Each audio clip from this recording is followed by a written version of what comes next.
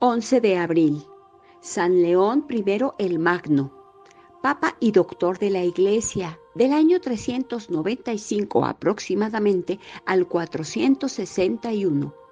Según la tradición, San León Magno nació en Roma, de padres toscanos, hacia la última década del siglo IV.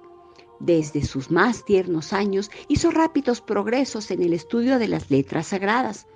Dios dice un concilio general, que le había escogido para alcanzar victoria sobre el error y para someter la falsa sabiduría del siglo a la verdadera fe, puso en sus manos las armas poderosas de la ciencia y de la verdad. Diácono en 430 y luego arcediano de la Iglesia romana, aparece desde 418 a 439 como consejero de los papas en la lucha contra las herejías de Pelagio y de Nestorio, haciéndose notar también por su talento administrativo en los pontificados de San Celestino I y de San Sixto III. A la muerte del Papa San Sixto III León, que se hallaba en las Galias, a donde había ido para poner paz entre los gobernadores, Aesio y el general Albino, fue designado para sucederle en agosto de 440. El clero y el pueblo esperaron su regreso con admirable paz y concordia. Parecía que la ausencia del elegido hacía resaltar más el mérito del ausente y la prudencia de los electores. En vano se resistió, gimió, lloró, suplicó, solicitó y dilató su vuelta a Roma. Regresó al fin, precisado a obedecer. Le enviaron una solemne embajada y ningún emperador entró jamás en la cabeza del mundo con tantas aclamaciones. Fue consagrado obispo de Roma y jefe de la Iglesia Universal el 29 de septiembre del año 440 el día de su consagración, hizo León oír en medio del pueblo enternecido su voz majestuosa y paternal, que durante 20 años debía resonar en todos los ámbitos de la tierra para destruir la herejía, suavizar la ferocidad de los unos y de los vándalos, salvar el mundo romano de la barbarie y hacer surgir una sociedad nueva sobre las ruinas de un imperio decadente. Gracias sean dadas, decía a sus fieles, ahora y en lo venidero a nuestro Dios excelso, por todos los beneficios que me ha colmado. Gracias sean dadas a vosotros mismos por el juicio tan favorable que vuestra benevolencia ha formado en favor mío, sin que precediese mérito alguno de mi parte. Me complazco en ver en él una prueba de la adhesión, respeto, amor y fidelidad que mostráis a vuestro nuevo pastor él no tiene más que una ambición, un pensamiento y un deseo, velar con solicitud incansable en la salvación de vuestras almas. Os conjuro, por las entrañas de misericordia de Jesucristo, que ayudéis con vuestras oraciones al que vuestros votos ha llamado de tan lejos, a fin de que el Espíritu de gracia permanezca en mí y no tengáis que arrepentiros de vuestra elección. Dios que ha inspirado la unanimidad de vuestros sufragios, nos conceda nuestros días el inapreciable beneficio de la paz. Padre Santo, conservad en vuestro nombre a los que me habéis encomendado. Muy amados hermanos míos, por mucha que sea mi insuficiencia para cumplir el gran deber de servidumbre que Dios me impone, no olvidemos que la piedra fundamental sobre la que descansa la Iglesia permanece inconmovible en medio de las tempestades y sobrevive a todas las ruinas. El príncipe de los apóstoles permanece siempre con la firmeza de la piedra cuyo nombre lleva y sobre la que ha sido establecido y nunca ha abandonado las riendas del gobierno de la iglesia. Su ordenación se distingue, en efecto, de todas las demás. Es llamado piedra y fundamento. Se le ha establecido portero del reino de los cielos. Es el juez de todo lo que debe ser atado y desatado, y la autoridad de sus juicios es acatada hasta en el cielo. El misterio de sus diferentes títulos prueba suficientemente la estrecha unión que subsiste entre Cristo y Él. Se puede decir que el bienaventurado apóstol, desde que ocupa su puesto en el reino de los cielos, continúa con plenitud de potencia superior la misión terrestre que ha recibido aquí abajo, cumple ahora todos los deberes y todas las funciones de su cargo supremo, de aquel y con aquel por quien ha glorificado, es decir, Jesucristo nuestro Señor. Si pues nosotros, sus indignos sucesores, tenemos la dicha de obrar con alguna sabiduría, de discernir con alguna penetración, y si obtenemos por nuestras súplicas cotidianas e incesantes algunos favores de la misericordia divina, ello es el fruto de las obras y de los méritos del glorioso apóstol, cuyo poder vive siempre y cuya autoridad subsiste, excelente y preeminente en la sede que él ha fundado. En toda la iglesia, cada día la voz de Pedro repite aún, Tú eres Cristo, Hijo de Dios vivo. Tal es la fe que salva al mundo y abre el cielo a las almas. Las puertas del infierno no prevalecerán contra ella. Luchas del Santo Pontífice. Cuando el nuevo pontífice empleaba este lenguaje tan lleno de modestia personal y de confianza triunfante en las promesas divinas, maniqueos, donatistas, arrianos, priscilianistas, nestorianos y eutiquianos infestaban a la iglesia. El pontífice, armado con la espada de la palabra de justicia y de verdad, y revestido de la autoridad del jefe supremo de la iglesia, combatió con vigor a todos los enemigos que Satanás había suscitado para hacer prevalecer la mentira y el error descubrió en Roma algunos maniqueos y los castigó, y lo mismo hizo tanto en Italia como en otras partes. Mandó quemar sus libros y avisó a los obispos para que estuviesen alerta y velasen contra ellos favoreció en gran manera a todos los que en África se levantaron contra los donatistas y escribió cartas a los obispos de España para recomendarles que velasen cuidadosamente contra los priscilianistas, los cuales introducían la cizaña del error entre los católicos. San León concedía mucha importancia a la fijación de la fiesta de Pascua, como se desprende del gran número de veces que trata de esta cuestión en sus cartas y de la insistencia extrema que puso en querer resolverla de modo definitivo para el presente y para lo porvenir. Trataba de vencer a gusto de todos orientales y occidentales las dificultades de aplicación de la regla formulada en 325 en el concilio de Nicea, según la cual dicha fiesta se celebraría cada año el primer domingo después del plenilunio, que sigue del equinoccio de primavera, suponiendo que el equinoccio tendría lugar el 20 de marzo. Preocupado por el cuidado de la unidad de la Iglesia, el Papa quería ante todo que la solemnidad de la resurrección fuese celebrada en todas partes el mismo día, por el deseo grande de la conciliación, aceptó las sugestiones del obispo de Alejandría, San Proterio, con el peligro de descontentar a los latinos, entre los que predominaba la creencia de que la fiesta no debería caer ni antes del 21 de marzo ni después del 21 de abril. Eutiques, Concilio de Calcedonia. En fin, para coronar gloriosamente su obra, el gran papa convocó a Calcedonia un concilio ecuménico compuesto de más de 600 obispos, que celebró sus sesiones del 8 de octubre al 1 de noviembre del año 451 y condenó solemnemente el funesto error de Eutiques, abad de un monasterio vecino a Constantinopla, que contaba con 300 religiosos y a quien protegía Teodosio II, emperador de Oriente. Eutiques pretendía que en Jesucristo no hay sino una sola naturaleza, como no hay más que una persona, pues la naturaleza divina había como absorbido y hecho desaparecer a la humana. Esto equivalía a negar el misterio de la encarnación, porque si la naturaleza humana no subsiste ya distinta de la divinidad en la unidad de la persona del Verbo, no se puede decir que el Hijo de Dios se ha hecho hombre, esto era lo mismo que negar toda la obra de la redención, porque si Jesucristo es solo Dios, no puede morir por nosotros, y si no está unido con nosotros por medio de su humanidad, no puede servir de mediador entre Dios y el hombre, con el que nada tiene en común.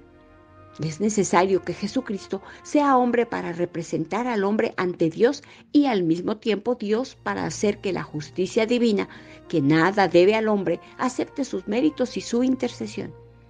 El error de Eutiques obligó a San León a explicar con mayor claridad la doctrina de la distinción de las naturalezas en la unidad de persona de Jesucristo.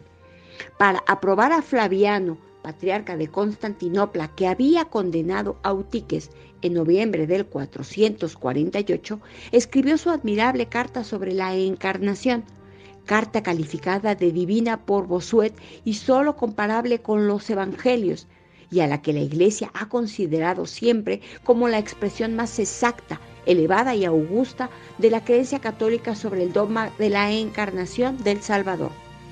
Esta carta produjo en el concilio de Calcedonia un efecto admirable. Cuando los 600 obispos hubieron oído su lectura, exclamaron unánimemente, Pedro ha hablado por boca de león. San León y Atila, Después que el santo pontífice hubo sosegado los espíritus, afirmando a los católicos y triunfando de todos sus implacables enemigos, se creía seguro en la ciudad eterna. Pero Atila, el terrible azote de Dios, cayó sobre Italia con un formidable ejército de bárbaros. En la primavera del año 452 se apoderó de Aquilea, y la redujo a cenizas, atravesó el país a sangre y fuego y continuando sus depredaciones, saqueó Milán y se apoderó de Pavia. El emperador Valentiniano III y su corte abandonaron precipitadamente Ravenna y fueron a refugiarse en Roma. El emperador, el senado y el pueblo, sobrecogidos de espanto, no vieron sino un salvador posible, San León una delegación de los más nobles romanos le suplicó fuera al encuentro de Atila e intercediera por ellos. La misión era difícil y peligrosa. Si Dios mismo no intervenía, la sola esperanza de salvación estaba en la misericordia de un rey sin entrañas. Era contar con un milagro. Y el milagro se hizo. El 11 de junio del año 452, acompañado del cónsul Orieno y del senador Trigesio, precedido por los principales miembros del clero romano y seguido de los anhelos, oraciones y lágrimas de todo el pueblo, el pontífice salió de Roma para ir al encuentro de Atila.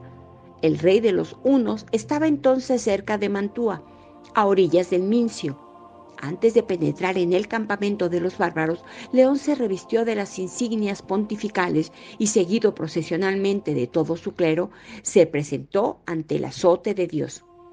Atila le recibió respetuosamente y prometió vivir en paz con el imperio mediante un pequeño tributo anual. Hizo cesar al punto las hostilidades y algún tiempo después repasó los Alpes. Los bárbaros preguntaron a su jefe por qué había mostrado tanto respeto al Papa. No es, respondió, el personaje con quien he dialogado el que me ha hecho cambiar súbitamente de resolución. Mientras él me hablaba, veía a su lado a un pontífice de majestad sobrehumana.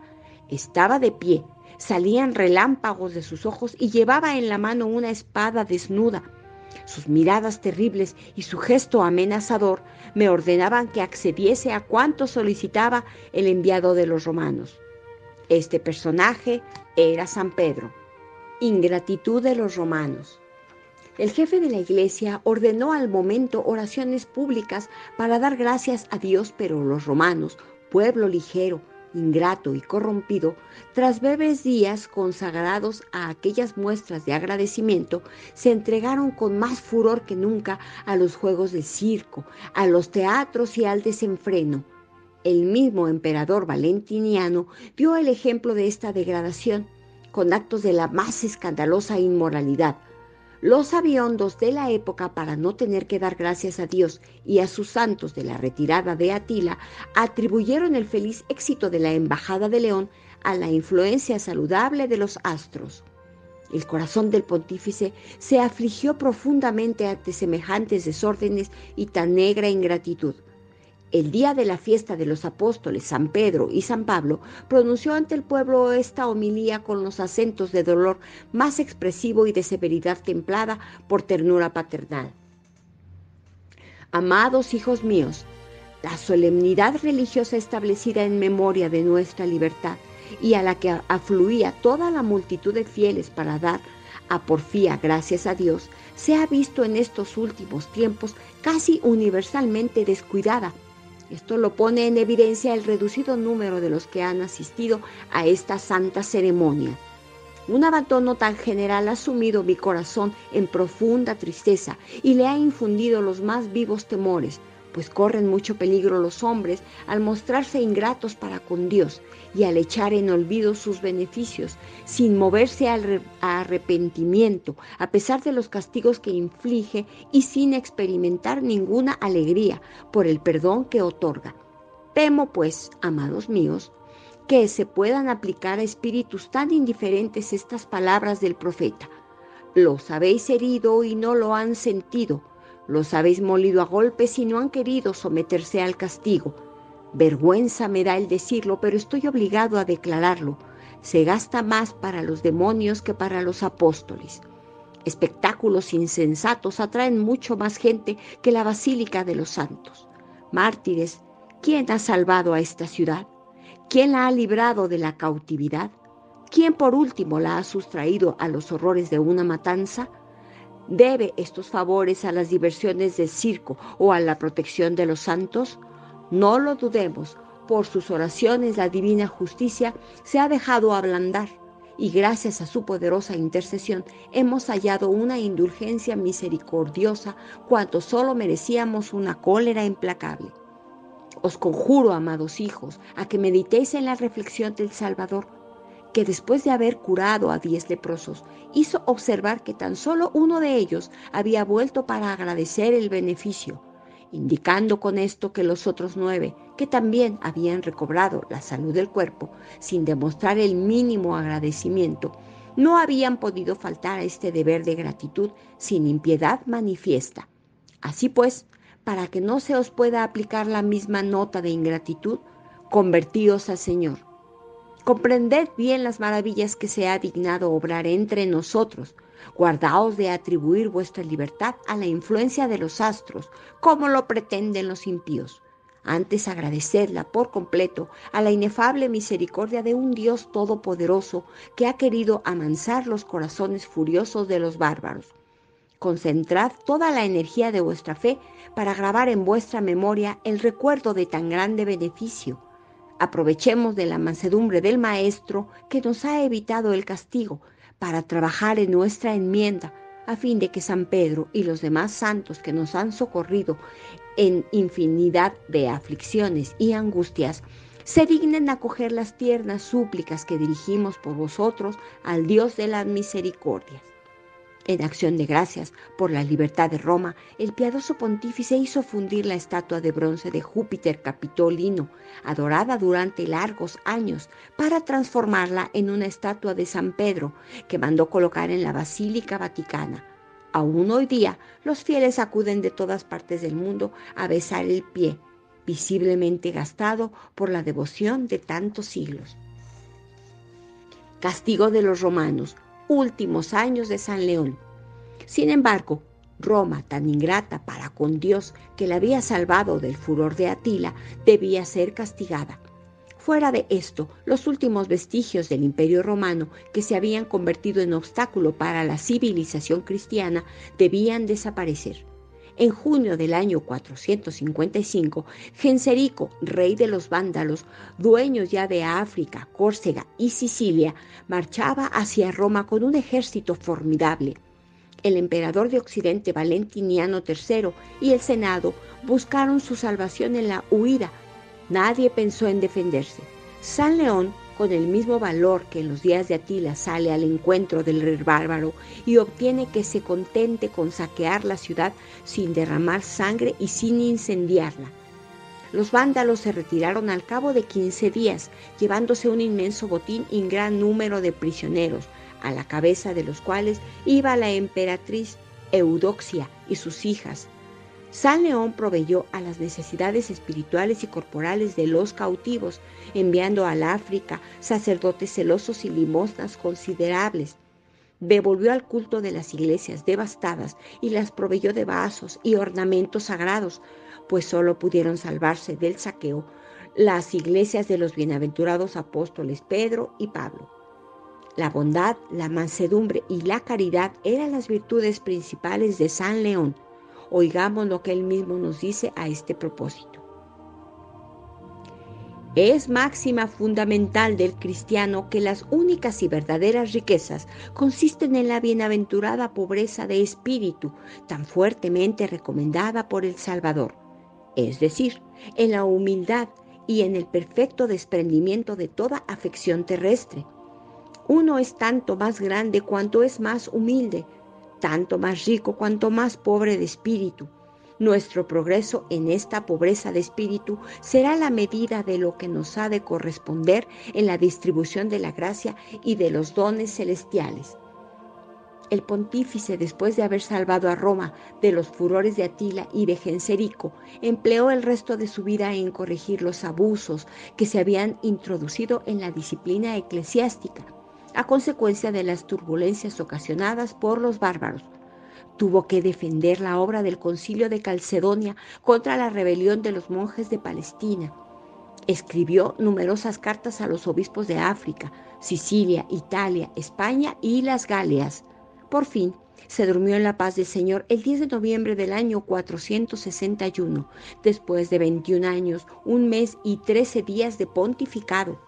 Su cuerpo, depositado primeramente a la izquierda del pórtico de la entrada de San Pedro, fue trasladado el 28 de junio del año 688 al interior de la basílica. El 20 de mayo de 1607, reinando Paulo V, fue trasladado a la actual basílica de San Pedro y colocado en un altar. Finalmente, Inocencio X hizo consagrar en la iglesia una capilla a San León y depositó en ella el cuerpo del pontífice. La Iglesia romana celebra su fiesta el 11 de abril y los griegos le honran el 18 de febrero. Doctor de la Iglesia. Por bula del 15 de octubre de 1754, Benedicto IV proclamó a San León doctor de la Iglesia. En efecto, este gran pontífice debe sus escritos, cartas y sermones la mejor parte de su gloria. Sus escritos son según afirma un historiador, los monumentos más auténticos de su piedad, ciencia y talento.